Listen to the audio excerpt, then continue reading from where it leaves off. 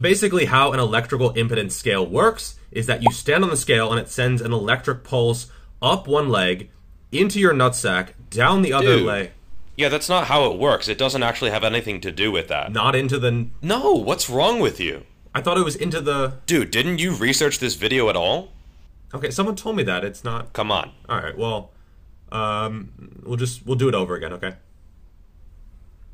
A Few minutes later. So basically, how an electrical impedance scale works is that you stand on the scale and it sends an electric pulse up through one leg throughout the entire body and it checks how much water you have in your body. It uses this information to try to estimate your body fat percentage, how much of your mass is muscle, and how much is fat. Seems smart, right? Trouble is, it doesn't work. In fact, they are so inaccurate and so variable in their readings that I would say they should not even exist. Whoever is producing these or using these in their doctor's offices or whatever is completely full of it. They can vary as much as 4% in a single day. Yes, you can gain 4% muscle and lose 4% fat in a single day. If you're dehydrated, it can cause you to read up as much as 5 kilos of fat. Because you're dehydrated, you have less water, therefore it thinks you have less muscle and more fat. And so 5% if you're just dehydrated. If you take a workout before the reading, like let's say you work out for an hour and a half, two hours, it can read as much as 12 kilos more of fat. I'm not even sure if I have 12 kilos of fat. That is a massive amount of fat, and it's just not accurate enough to actually be useful. They shouldn't be called smart scales.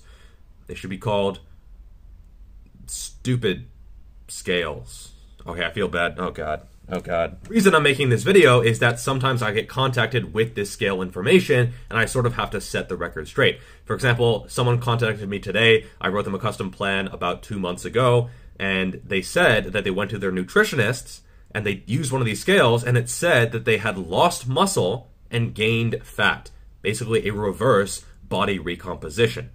And so I asked them, I said, how did they measure your body fat percentage? And I knew. I already knew. I knew it was one of these sort of grab the handholds, kind of, you know, stand on the scale, we'll zap you full of energy and we'll check your body fat percentage kind of bullshit machines. But I had to ask just to make sure. Uh, then I also asked him, like, have you been progressing in weight in the gym? Have you been progressively overloading? And he said, yeah, my lifts have been going up. And I asked him, like, do you feel fatter? Do you feel leaner? Like, you know, what do you actually look like in the mirror? And he said, no, I think I've been improving in that way. So he's been getting stronger while bulking and also getting leaner. So if anything, he's gaining muscle while losing fat. And the scale says the opposite. And he was getting really down on himself. He, he felt really hopeless and disappointed when in fact his training has been going really well. So just because you see some bullshit scale give you some readout that doesn't look good, you should always go based on the mirror, based on a normal scale, and based on how you feel. If you look like you're getting leaner, you're getting leaner.